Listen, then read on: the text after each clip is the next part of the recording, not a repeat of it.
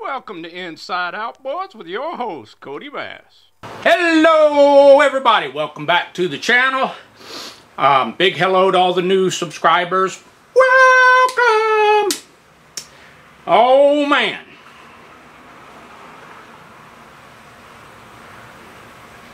Almost don't even know where to start on this one. We are back on the Yamaha 15 two-stroker with no power.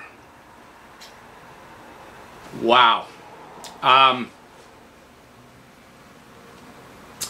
I do believe I have found the issue.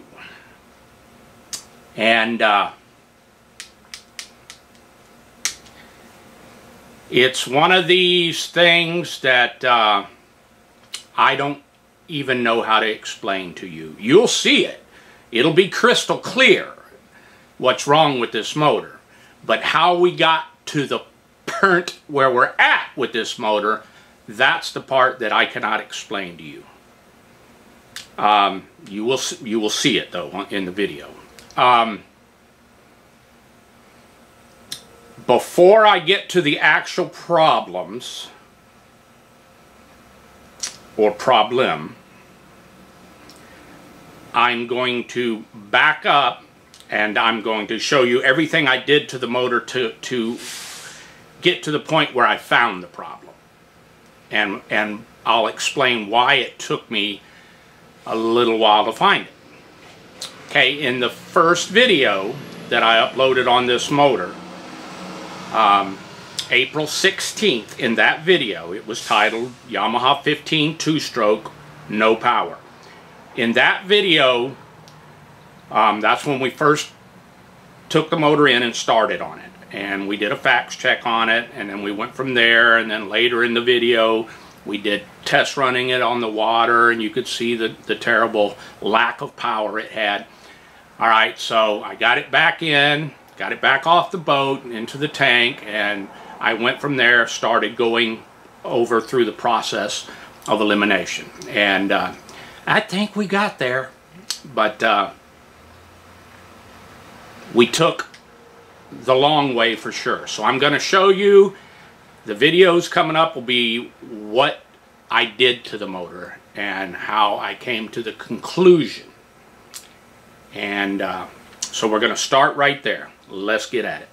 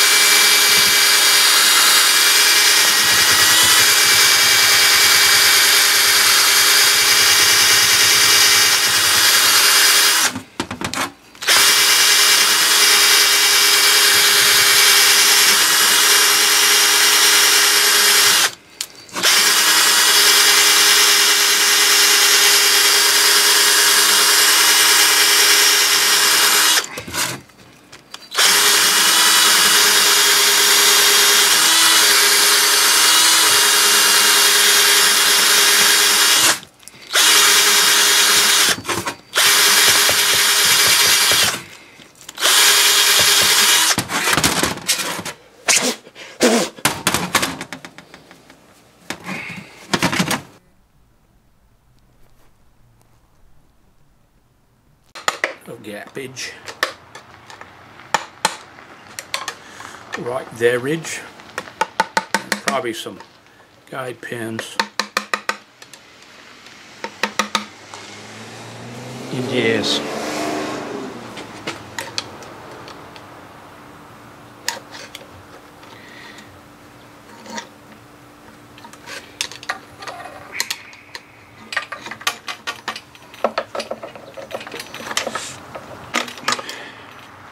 More.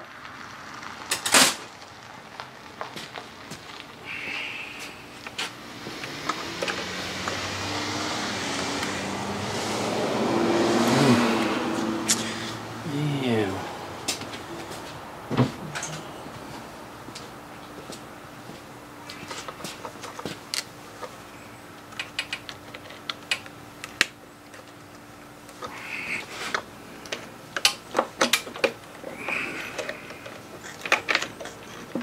Goes.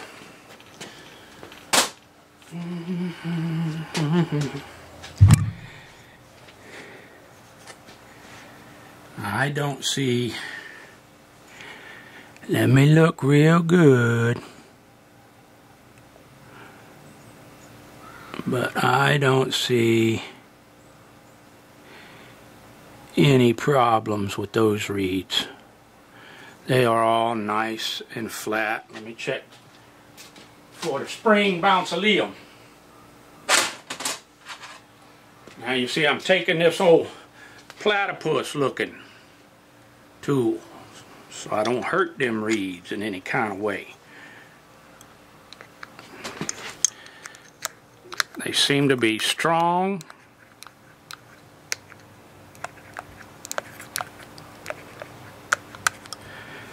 They pop back nice.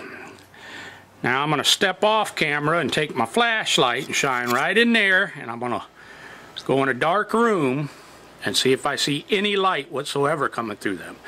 But as far as their spring back and stuff, it's real good.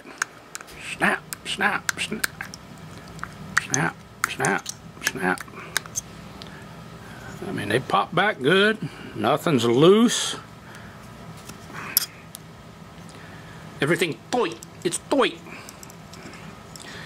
Gasket looks good. It's kind of a pressed in gasket, but it, I mean, they pressed it in and then they put some gookum there to, same with the front one. But I don't see no rips or tears or nothing in it. You know, it's, it's all pretty good looking. Let me go do a flashlight test. I'll be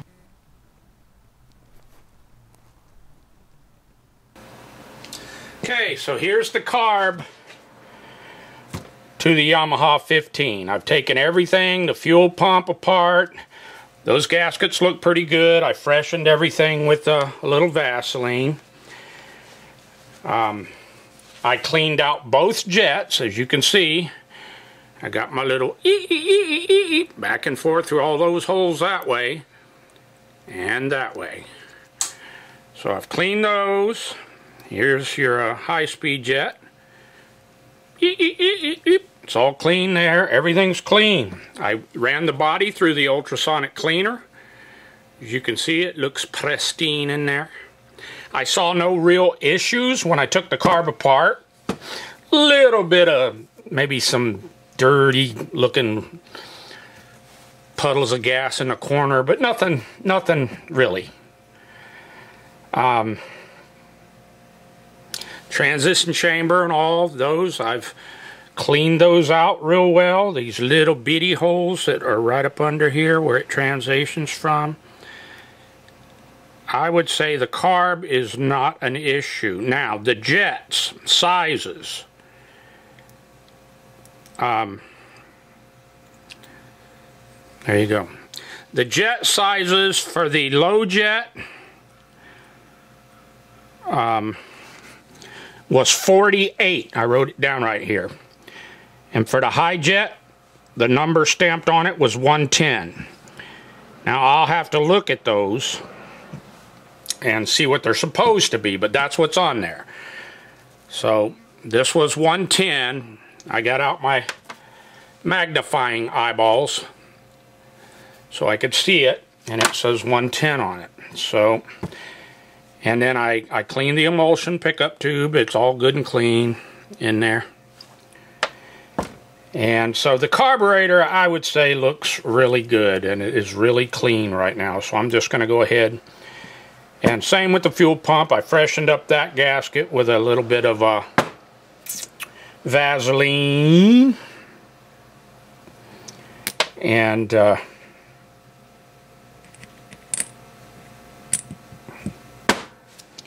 that looked good. So, let me get the car back together and we're going to check a few other things. I'll be right back. Okay, I wanted to show you the float in there and all, and also the needle and seat. You can't see it in there, but it lifts really easy, real nice. It's uh, It looks really good. The needle's nice and free, and the float looks nice and proper. So, just wanted to show that. I did check the needle and seat, all looks good. Okay, so we got done with the carb. I pulled that off. As you can see, we pulled the reeds off, looked at the reeds. Now remember, when we started this, I did a spark check and I did a compression check. And the compression numbers on this thing, according to my compression tester, were right at 125 apiece. Well, we cleaned up this carburetor and the old carburetor looked good. Looks brand new. Inside and out. I cleaned it ultrasonically. I cleaned it with compressed air, carb cleaner, needles, everything. That carburetor is good and clean and good. Now, we pulled off the flywheel to look under there. Yeah, there was some light rust. Light rust should not affect um, the firing system on this, and it didn't. We had good hot spark on top and bottom. So, so we had to do some more digging around. I did go ahead and clean everything up on the flywheel and everything. I wire wheeled the inside of it, got it all clean. But I do believe I found the problem. Now how I overlooked it that part, I'm still doing this. Because I'm not sure. I got some things going on in my little P up here, but I'm not I'm not 100% sure. But I'm going to show you what we found. But first people told me to look at the uh, the flywheel key, look if the engine was advancing for the timing properly and so forth those appeared to be all normal and working properly. So then I had other people say, well, I had one like that, and uh, it ended up being the exhaust port itself, that area in the upper, up in the um, crankcase where it exhausts out of the exhaust port and then down into the leg. Because I did check the lower leg and all that, but I did not check the exhaust port. until now. And I did. So what did we find? What did we find there? Was that it? Let's look. Let's look. I show you. I show you. Now I'm going to try and get you down even lower. So, so lower it is. Okay. It's about as low as it'll go, I think. But let me get you some light in there. Okay. There's the exhaust port. This wet stuff is here is where I put a little Permatex because the gasket was coming off. I didn't want it to come off. I wanted it to stay there. But you can see, hopefully down in there, you can see the exhaust port coming through the, I mean the exhaust going down into the leg through the exhaust port is wide open. It is completely wide open. There's no clogging issues there whatsoever. And you can't see it on camera, but the top piston you can watch go up and down right there. It's clear as a bell too. So the exhaust port is all clear. Now, here is the inner cover to it. And it's all clear as well. No big chunks of carbon, just some little pieces. But those little ones are interesting. But uh, that's all I found there. And then there's the outer exhaust port cover. Uh, right there. And it's pretty clean too, little salt residue, but you know, nothing there that's going to cause an engine to run bad. But now, we got some other issues. I'm going to have to bring you over here. Actually, let me get set up a little bit. Well now, so far so good. But before we go any further, I've got to show you two things. Um, the first, I want to show you my compression gauge. Okay.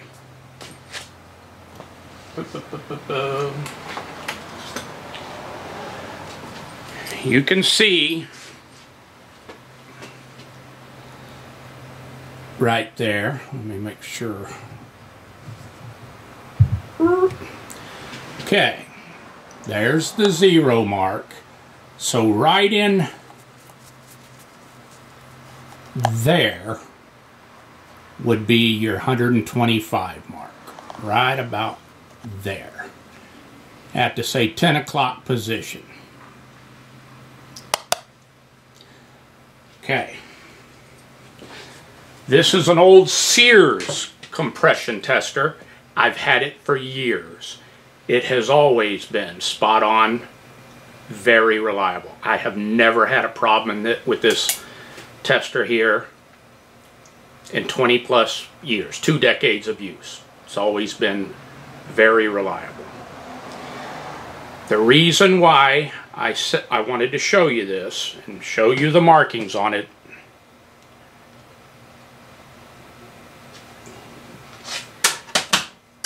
is because the next thing I want to show you, I want to go back to the April 16th video and I'm going to show you a, a clip from that video. I cut out of that video and I want you to watch the compression test that I do in that video. Go.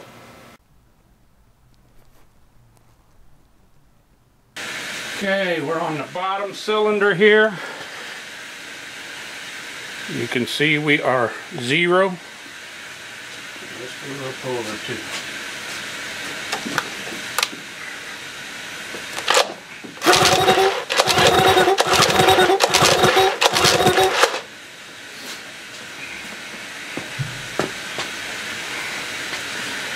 We are at a hundred and about 126, 127, something like that. 120, 25, 26. That's on the bottom. Let's look at the top.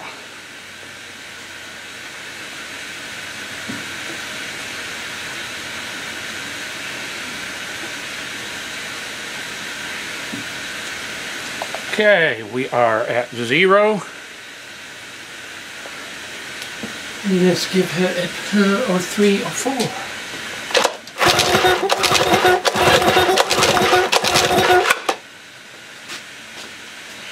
Okay. We are at 125. About 127. A little past 125 mark. So,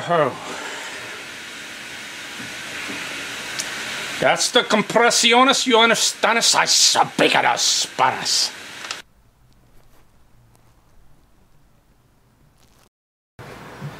Okay. So, in addition to pulling the side exhaust port cover and so forth, I said I'm going to pull that head. Now, the first thing we want to look at is the bottom cylinder. Let me get you there. Can you see? I hope you can. Let me move something real quick. Okay.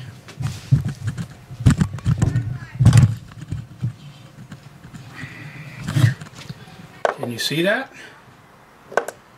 There's some pretty heavy duty scoring right there on that bottom cylinder.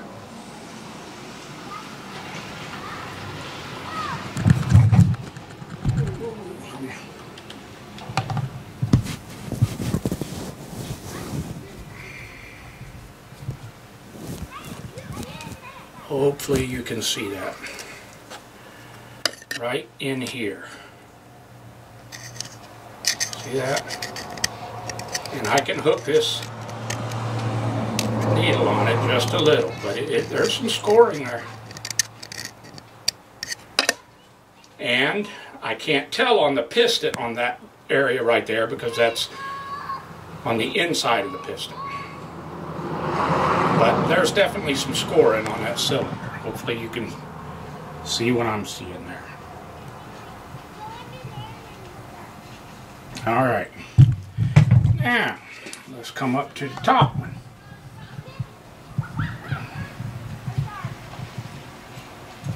Stupid thing. Okay. All right. Let's turn this down. So the bottom's up, top dead. Now looky here. Look at that. Can you see that? All right in here. And it's pitted. And you can definitely catch all kind of grab on that eh, on both sides.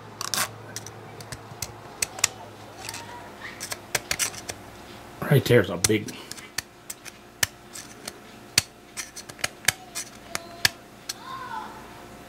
So that top cylinder, hopefully you can see that, has quite a bit of, heck, I don't know what you'd call that. But it ain't right, whatever it is. It is all discolored. Uh, it's, it's actually got some pretty big marring and pitting in there.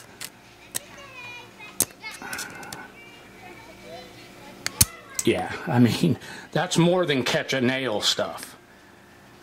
Looks like it's been laid down on there, a bunch of rust or something got in there, is what I thought. But, alright, so, now, let's look at the top of that piston. I don't know if you can see it, but there's all kind of little indentations and stuff. Now, what the hell do I do with it? Okay.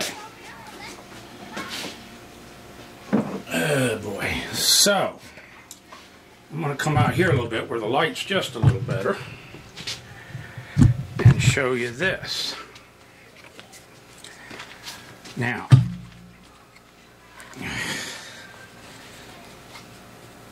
this is the bottom cylinder of the head. Okay, this is the bottom. There's your top, where your thermostat is. So that's your bottom. And there's a little bit of blackness there, a little bit of oil. But overall, it's nice and smooth.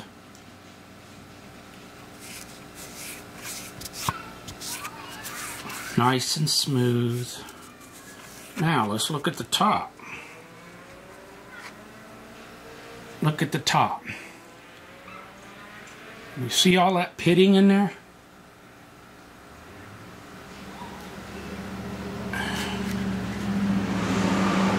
Compare it to the bottom there. Bottom's all smooth. Top has quite a bit of pitting and stuff in there. You can see some rust around that head gasket area.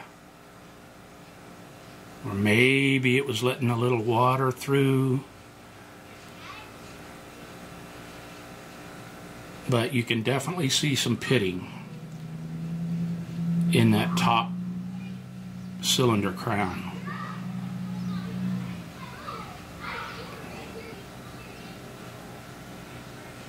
Hopefully the camera will pick this up. But it's got some definite pitting along along there. And then we've got the scoring. So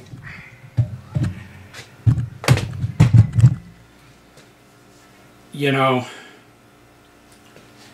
and if you look let's look if you look at the top of this piston the bottom piston there. You know there's a little bit of something going on. Looks like in the center. I don't know if that could be part of the casting.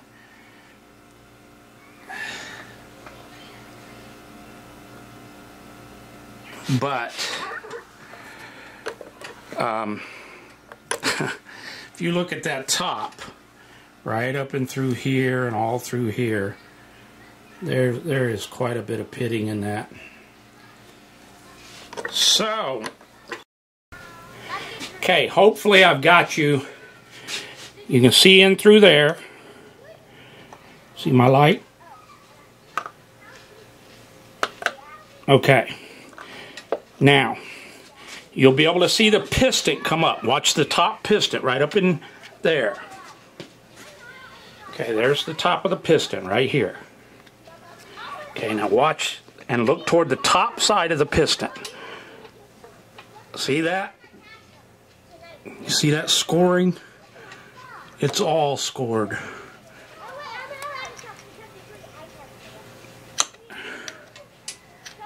And, and it's pretty significant. The rings, as far as I can tell, but that scoring goes about, oh, there it comes again, you see it? And then there's your rings. The rings look okay. They, they do look kind of, they don't have much spring to them though. I'd say that bottom ring maybe even stuck. But you can see the scoring up there. There it is. Right there. So, ho. now how did the compression test? Score 125 on that. And this thing start idle and run as well as it did. Oh boy. Okay.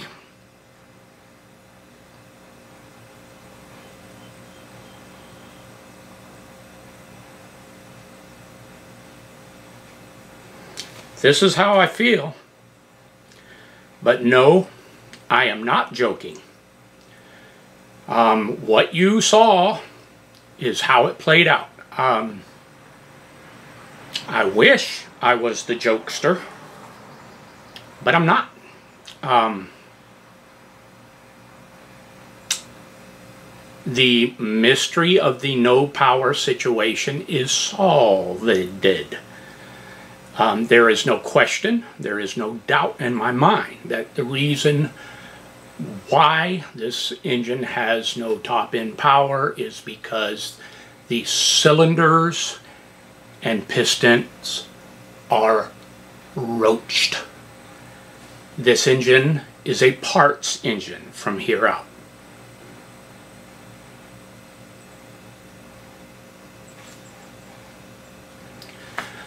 Um, cause I do believe it was carbon.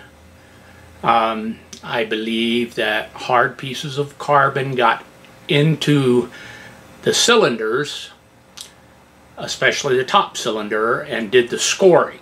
I may be wrong on that. I hope I get the opportunity to tear this engine completely down and um, look in there further.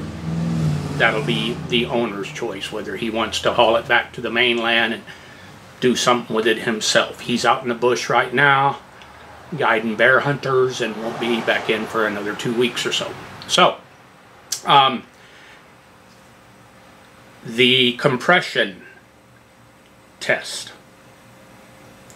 When I started this motor, this little Yamaha 15, the very first video I put up on it, at the same time that I started this 15, I was working on a 25 Mariner, a four-stroke Tohatsu, just doing an initial inspection of that one, and I was messing with a freebie I got, a Suzuki 15 four-stroke.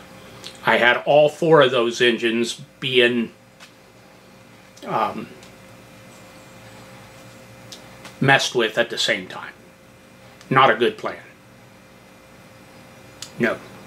But that's what I did. So when I finally found the cylinder issues, and by the way, I found that by taking off the exhaust port cover, not the cylinder head. The cylinder head came off after I saw what I saw on that top cylinder through the exhaust port cover. Um, I thought to myself, I must have got confused. Those 127 compression numbers must have been off one of those other motors because there's no way, if I've learned anything over a few decades of doing this, is that compression test, compression test, compression, always, always, always. Before you put a minute of your time into a motor, you get those compression numbers. And I thought, did I get confused with one of these other motors thinking I did the compression test on it. So I went back and watched the April 16th video. Nope. I did a full fact check on that motor. I did a compression check. The numbers were about 126, 127 per cylinder. No diurnal range difference between the two. Um, I cannot explain it. So hopefully some of you heavy hitters out there I had a situation like this many years ago on a little old 50s era Johnson that uh, um, kind of fooled me on some compression numbers, but uh, totally different, totally different motor and totally different uh, situations. So I can't explain it. I wish I could, but I do know one thing. The mystery is solved. The problem of this motor having no um, top end power, even though it idles smooth, starts easy, is those cylinders and that piston. So that's my take on it. That's how I feel. Um, please comment if if you obviously in the video see that I missed something or something, throw it out. I am happy to, to hear it and take it. So, anyway, thanks for watching, and that's one more hack from Kodiak. Thanks. Please like and subscribe to Inside Outboards with your host, Cody Bass.